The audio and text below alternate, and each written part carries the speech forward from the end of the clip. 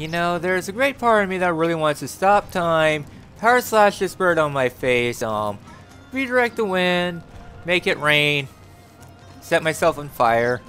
This ain't Okami. This is Mario Odyssey, and welcome back to some more of Super Mario Odyssey.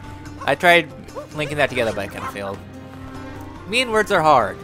Last time, we met with the Ruined Dragon in the Ruined Kingdom, and this time, we are making our assault through Bowser's Castle even more, here at the Shop Island.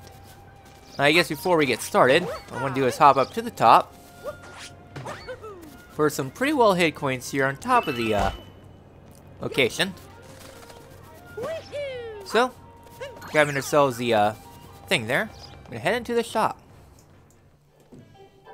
And inside here, welcome. Alright, nothing new here. I'll grab my moon and go. Because I don't want to repeat it last time. Yeah. And on the other side, well, that's really cool. You can see the uh, paper lanterns, and you can also see the Jizos. So I guess going on forward, we got Jizos. I want to buy these first and foremost. I'll save the rest of them for later. Samurai is more pressing right now. So, wouldn't you know it, more trivia, and that involves the samurai outfit, which is really interesting. In that, this was originally teased on Miyamoto's shirt for Mario Run, and then also later appeared in the Club Nintendo 2016 calendar. So, putting on the samurai outfit, you know it's really time for war. So, going on to the backside, yeah, Mario Run! When mobile games became a little bit more controversial. And that should they be free to play or free to start or whatever that I don't like mobile games to begin with, so meh. Hello, sir. You want to get... Sorry, you want to get a look-see to what's going on inside. You gotta be dressed for battle, friend. That armor. You look like a samurai. We'll step right on in. Now it is time for probably my favorite or second favorite 8-bit location. Inside here, the screens unfold heading on forward. So heading into the next area, the screen unfolds and refolds. It's really cool. They saved all the cool stuff for this kingdom. Indeed they did. And then the 8-bit uh, section, while I don't really like the music as much as the regular theme, it's still pretty serviceable. So into the next screen. Quite literally, we have ourselves our challenge here. What we want to do is take out the, the uh, Koopa. There we go. Have to worry about the Koopa. So now we got ourselves a note challenge going on through here. Take things kind of slow. And then press down this little mushroom. And then head on to the top for the hidden moon of this area. In the folding screen. Yeah, a really cool area. And then lastly, we have ourselves another Koopa. Gonna take for the King of the Koopas. Now you got to press it down long enough for the Koopa shell to take effect.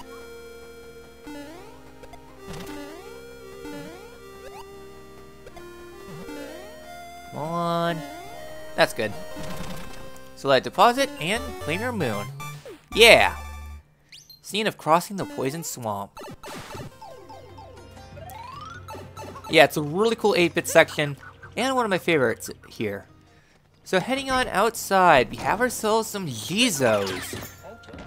And when we transform, we become Stone Tanukis, which is a common thing in Mario games, especially in like Mario 3 and in 3D land. So yeah, so anyways, line them up here. And hop across this uh, Zen Garden for a moon. A very, very cool moon. Yeah, so so this region is very, um, I guess, um, reminiscent of, I guess, Eastern culture. Anyways, want to take this next Jizo to this room. For yet another one. Anyway, Shake to move a little bit faster, and that's really it. Not really too much of the Jizos, but... Eh. It does what it needs to do. So now it's time to head to the Outer Keep. We're done inside Shop Island. Go to the next one we go. So located on this island, first course of action, I didn't. Ground pound, please. Yeah, another case of ground pound being not not too great because ground pound on the same same button as coins kind of sucks. So next up, we are going to take this uh, Jizo here for a secret. So once we are in Jizo form, highlights will appear on the ground. What you want to do is take this to the other side. Check to go by a little bit faster. The reason why is because somewhere out here, Micro Goombas, I think it's here. It's somewhere. Yes, right here, a life crystal. I guess life art. This ain't Terraria. So that's really it there. There's not too much elsewhere here. Um, oh yeah, there's that. Thank you, Ground Pound, for being on the same button as, uh, Dive. There we go. So we're going to take this light pole to Stair Ogre Island. So here at Stair Ogre Island, all you gotta do is take things out and also following the uh, Zen Garden thing. Hello there, Stair Ogre. So, ground pound you. Yeah, you thankfully have quite a considerable amount of time to uh, get your uh, ground pound in. So, last set of Stair Ogre. The Stair Ogres, they will destroy those metal blocks. Important thing to remember. So we're done there. Let's go ahead and grab our moon.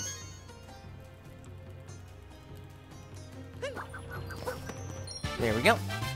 Yeah!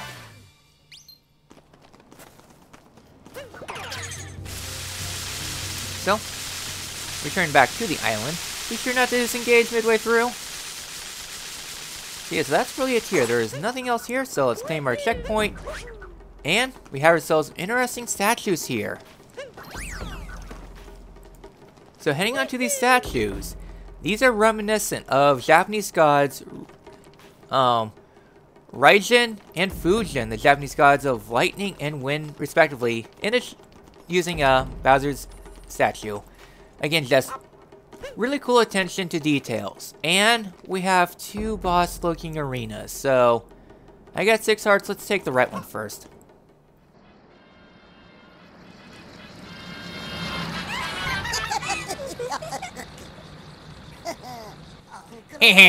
the boss wasn't kidding when he said you you'd be persistent. But I owe it to the family, to all the blah blah blah Broodals, to come at you with everything I got.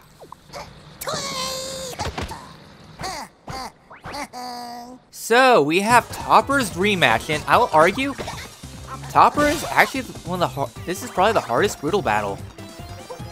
So once again, you got oh, I actually got the right one. So yeah, so you'll hop on around, trying to line things up. So yeah, so you can jump on him when he's spinning around. It saves a lot of time because, well, there's a lot of hats here. And it makes Topper probably the hardest of the Broodals to, to beat. So, yeah, the fake one was pretty far away. So yeah, so letting him do his fall thing. There we go.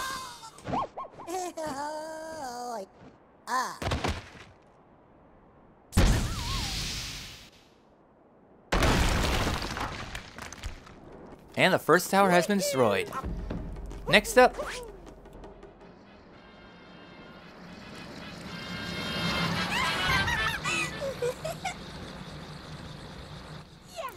Yep, the wedding's almost here. The Blood Boss is getting ready and they keep up ahead. But you two can scram, because you're definitely not invited. And now, we have ourselves the uh, Harriet refight. Harriet is a little bit more annoying in order to do the uh, quick cycles. You want to stay a little bit to the to the right of her, or do her to do a little bit of a quick cycle skip. Alright, we're gonna do the large ones. Oh yeah, also spraying things out instead of being connected. Alright.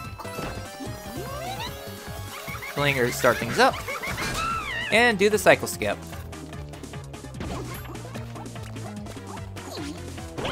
Alright, got Got the redirect. Good. So you want to stand a little bit straight straight on ahead. Where are you starting up at? Right here. Perfect. Cycle skip.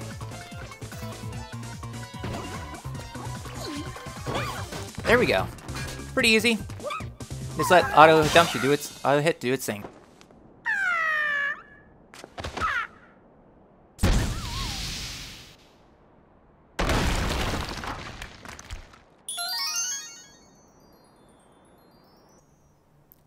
So yeah, so Harriet is definitely not that bad. I mean, a little harder than her first encounter, but Topper is definitely a lot harder.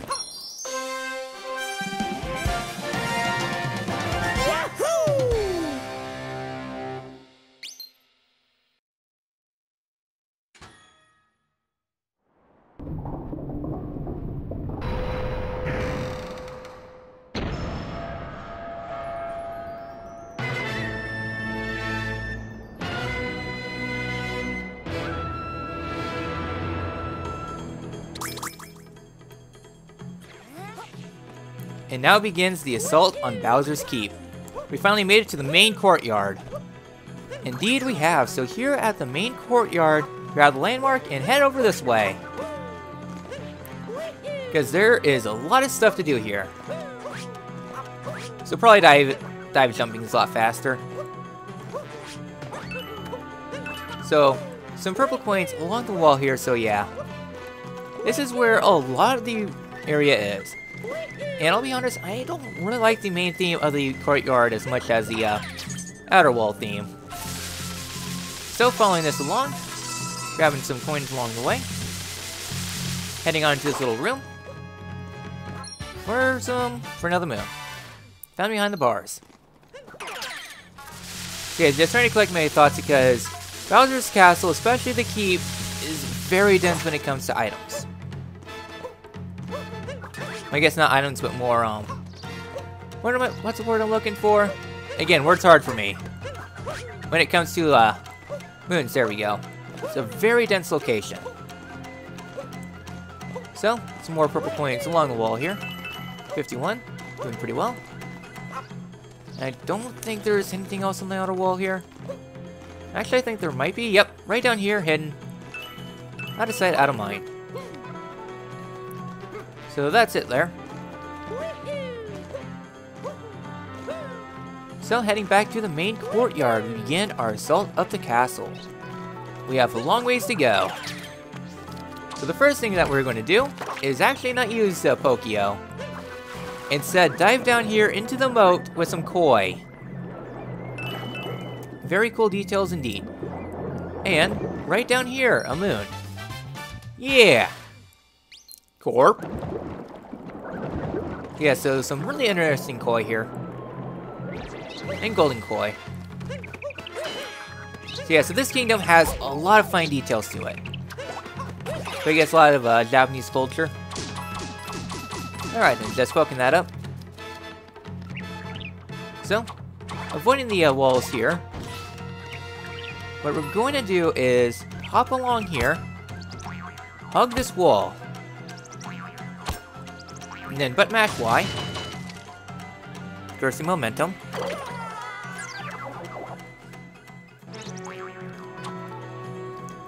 And Pokio trying to turn around walls is a bad thing.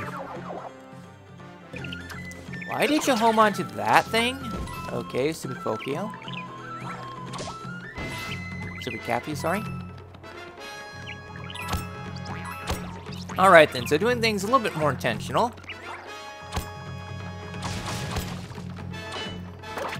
Okay. I see how you are. Diving instead of into the moat, just jumping off into oblivion. Yeah, I'll be honest, I... This is getting too probably my, my main problem with Pokio. It just...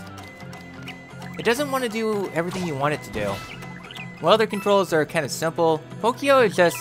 Oh, you want to unpoke? Okay, let me disengage from the wall and let you plummet to your death. Yeah, I'll kind of like press Y and then you tend to uh, get very zealous. Hidden underneath the floor. I guess let's go ahead and head on in. Take a nice little shortcut to the top. And avoid the bombs. Alright then. Yeah, I'll take the damage boost. It's not like there's a checkpoint coming up anyways. So upon heading up further, we arrive at the outer wall. So upon heading up to the outer wall, heading up here, let the Stair Ogre um, do its thing. Here's Stair Ogre.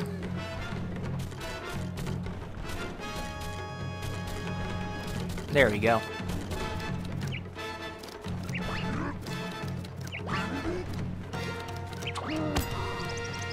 Alright, I'll take it. See, so let the Stair Ogre bash that open for another moon.